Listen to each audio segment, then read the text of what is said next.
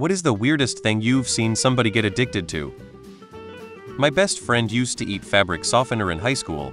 She would keep bottles of it hidden around her room so she could have a taste whenever the mood struck her. I love her to death, but she's a strange one lol. I am addicted to brake fluid, but I can stop anytime. Learned about this on the jail experiment show, smoking the coffee stick, which is paper towels soaked in coffee then dried. Running. This will sound stupid, but World of Warcraft. I know a person who lost an incredible job and broke up a at least seemingly good relationship due to their complete addiction to World of Warcraft. Nasal spray.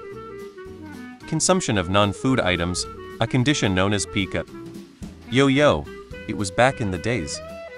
I saw someone who was addicted to eating chalk and someone who liked to eat the stuffing out of their mattress. I knew a kid in my elementary school that would drink glue. I'm not talking about eating paste. Head straight up pour Elmer's glue down his throat when the teacher left the room. A kid I knew in high school was addicted to NyQuil. He literally needed it to go to bed. He would bring a bottle over to friends' houses if he was staying the night. Whippets I know two people who have given themselves Wernicke syndrome commonly called wet brain, typically alcoholism don't huff confectionery supplies, folks.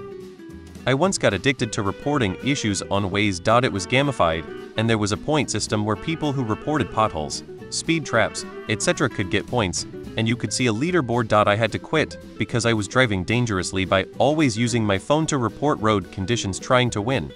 The whole fidget spinner craze went right over my head. Those Stanley Cup things, it's an insulated cup. Plastic.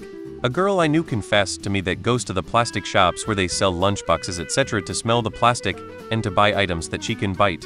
It takes significant time out of her day.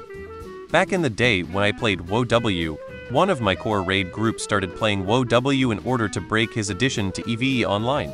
He had maxed a credit card and nearly lost his marriage. Solid pally tank though.